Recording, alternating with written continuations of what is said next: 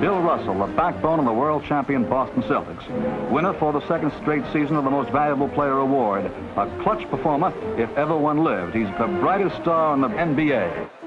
William Felton Russell was a monumental figure in the history of the NBA.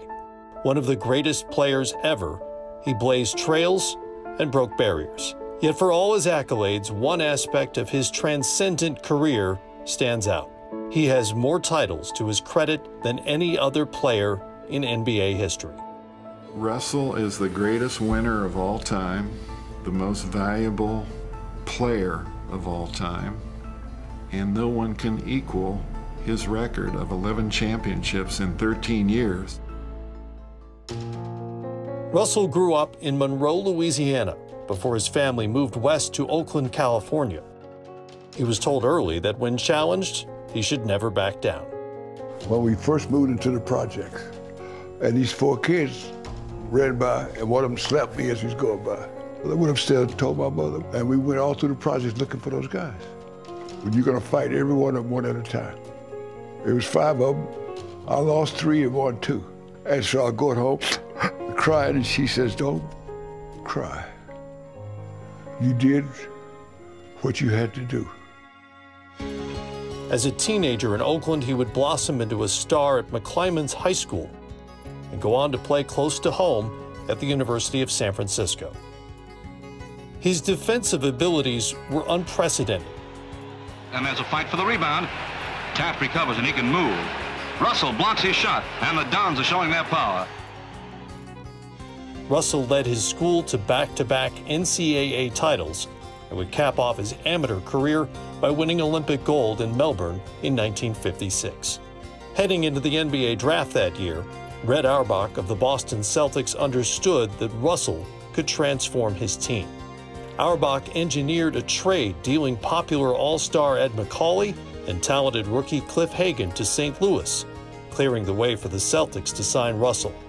And just as he had done in college, Bill Russell redefined the game defensively. I remember thinking to myself, well, we not only got ourselves a rebounder, but it looks to me like he was such a great athlete for his size and such quickness. I said, I think we're getting a little bit more than, than we bargained for in Bill Russell. Cousy waiting for his man, bounce pass to Russell. Basket is good and he's fouled. He could rebound, he could run, he could play defense. He made everybody around him better. It was the ultimate piece of the puzzle. Just months after Russell joined the team, the Celtics were champions. The all-around play of the Celtics is too much for the Hawks to overcome. Boston down St. Louis to win the NBA's World Series for the first time and become the professional basketball champions. Russell would soon be joined in the league by another dominant force, Wilt Chamberlain. The winning is only important if you beat the best. My friend Wilt Norman Chamberlain was far and away the best player I've ever played against. Throughout the 1960s, their rivalry would become a centerpiece of the NBA game and captivate audiences. Over the years, it also became one of mutual respect.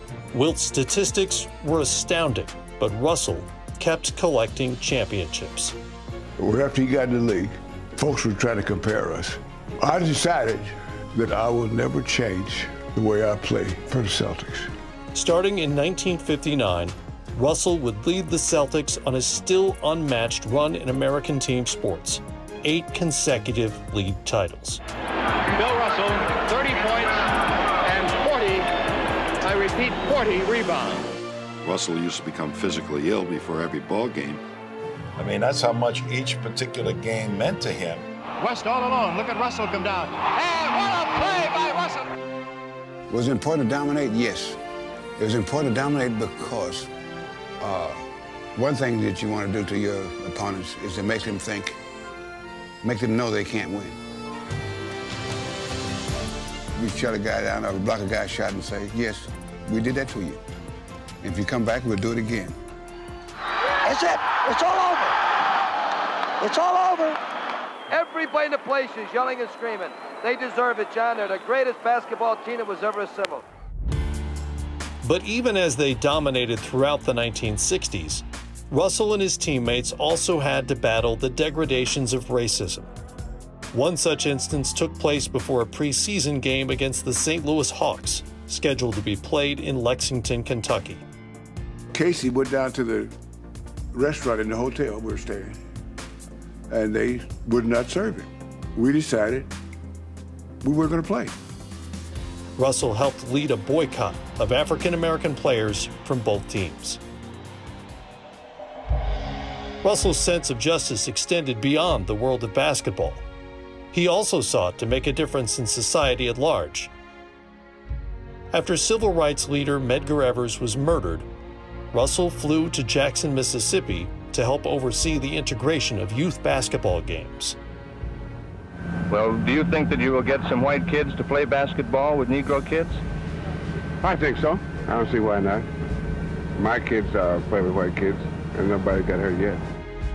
When heavyweight champion Muhammad Ali refused to fight in Vietnam because of his religious beliefs, Russell joined America's finest African American athletes to support him.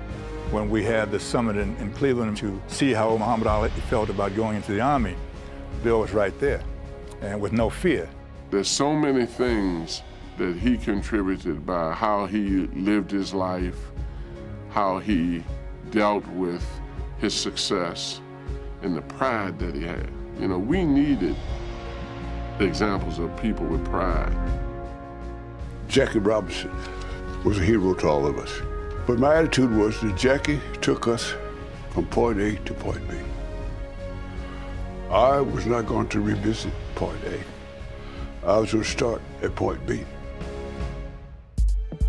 By 1966, the Celtics had established themselves as a dynasty. As the legendary Auerbach stepped down, Russell was on the verge of making even more history. With his hiring as Celtics head coach, Bill Russell broke through a long standing barrier and had to face his share of doubters.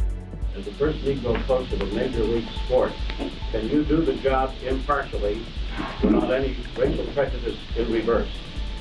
Yes. How? Because the, more, the most important factor is respect.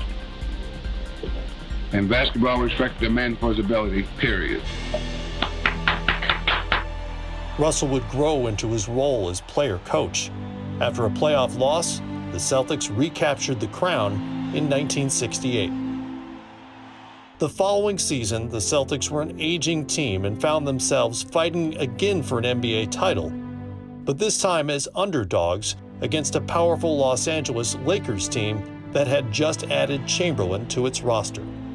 It was only fitting that for these two longtime foes, the series would go the distance. I can't help but wonder, how do you feel about going into another seventh game, uh, this time on somebody else's floor? We've done it before. We get back up. For the last game, Jack Kent Cooke was the owner of the Lakers. He put out a sheet in all the seats. When the Lakers win the championship, the balloons in the rafters would fall down, and Chick Hearns would interview Elgin Baylor, Jerry West, and Wilt Chamberlain in that particular order. Well, I took this back to Russell. Sam showed me that, and I said, well, a couple of things. It is humanly impossible for the Lakers to win the game tonight. The Lakers can't beat us. But it's going to be fun to watch them get those balloons out one at a time. Naturally, Russell walked away from his final game a winner. Chris, I'm here with Bill Russell. Bill, this must have been a great win for you. Exactly.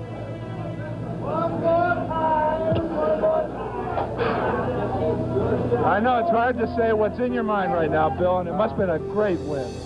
Boy, this is such a, a great bunch of guys, you know, uh, and it's been it's just been so, so fabulous the way they played for me, and it sounds all corny, you know, you know, start talking like that, but I told these guys before the game, I don't care what happens, I wouldn't trade you guys for any guys in the world. Bill Russell was a champion on the court, a powerful voice for equality, and a heroic example for all who followed. A few young people here that would like to be president of the United States, you can do anything that you want to do if you want to do it bad enough. Thank you very much. Bill Russell, the man, is someone who stood up for the rights and dignity of all men. He marched with King. He stood by Ali and made possible the success of so many who would follow. For the game's ultimate winner, Russell's legacy lives on through the NBA Finals MVP award, which bears his name. I've never wanted to live my life to get accolades or honors or anything. I've tried to live my life doing what I think is right and for the right reasons. And I think that I did okay.